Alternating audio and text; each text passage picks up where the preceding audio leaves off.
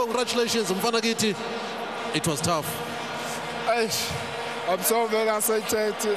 First of all, I want to thank God to give us the power to win this game. It means a lot to me.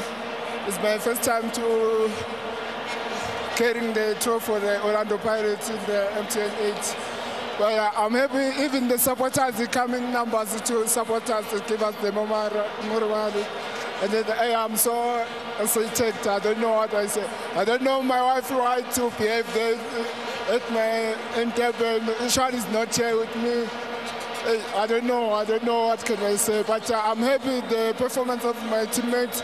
And then the coach took the staff and then he told us that we must come there and enjoy our game and then don't to what op- opponent what they say to us. But uh, let's go there and show them what uh, we are capable to do it.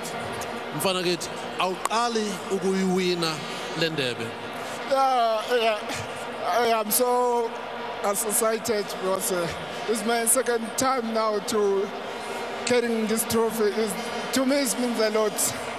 thank you very much Bob. I say, thank congratulations